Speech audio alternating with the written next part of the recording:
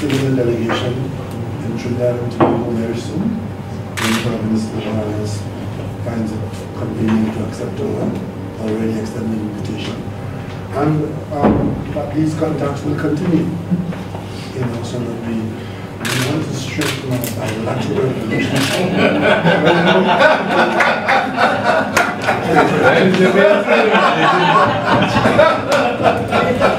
well, well, well.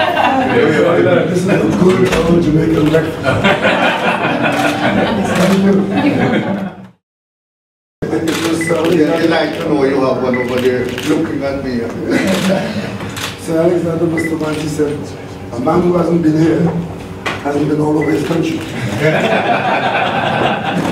Minister, Thank you very much. our grateful thanks again for spending time with us and we hope you'll enjoy this memento and um, continue to carry images of Jamaica not only in your heart, but now you'll have them